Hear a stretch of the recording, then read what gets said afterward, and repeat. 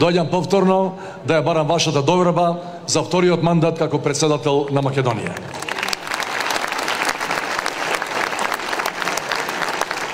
Памтам добро што реков пред 5 години, па и пред 10. И знам дека можам сега да ве погледам во очи и по ниедна точка од реченото да не се застрамам, затоа што се што реков, исполнив. Главната работа која ви ја кажав е дека ќе бидам председател на сите.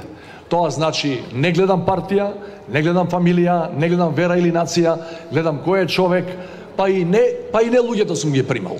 Значи, сите ги примам, секој што има мака, секој што има нешто да ми каже, да му помогнам или да ми даде некаков предлог, некаква сугестија за да ги решиме проблемите на нашиве граѓани кои не се мали, го знаете тоа. Во изминатиот мандат, морам да ви кажам не јас, него сите ние во Македонија, целиот народ имавме прилично тешки пет години. Да не ја споминам, спомнувам пандемијата во која година година и бевме затворени сите дома, Меѓутоа, и покрај такви тешки околности, меѓународен контекст кој не ни беше наклонет, сепак успеавме да направиме една работа која е според мене рамна на независноста на Македонија. Тоа е станавме членка на НАТО алијансата и со тоа ставивме тапија дефинитивно за секој што можда мисли дека може да се игра играчки со нашиот територијален интегритет и суверенитет.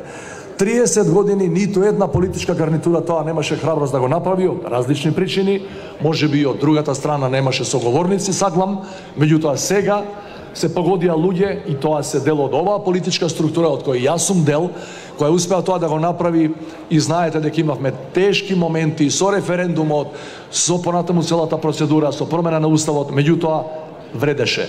Прво, затоа што го зацементиравме македонскиот идентитет и јазик на светско ниво, затоа што ја обезбедивме иднината на државата, незината територија, суверенитет и чест, јас би рекол и образ, и затоа што никој повеќе не може да помисли Македонија да ја става како монета за подкусурување на било какви меѓународни конференции на кои големите си ги прават своите есапи за делба на, на малите. А ние сме мали, Меѓутоа, од кога влеговме во НАТО алијансата, зад себе, до нас, зад нас, заедно со нас, имаме уште сега 31 држава, вкупно сме 32, и тоа најголемите, најмотните, економски најпросперитетните, кои нема да не остават како помало дете во фамилијата некој да се игра играчки со нас. Значи тоа е работа која е еднаква на референдумот според мене за независност од 91 година.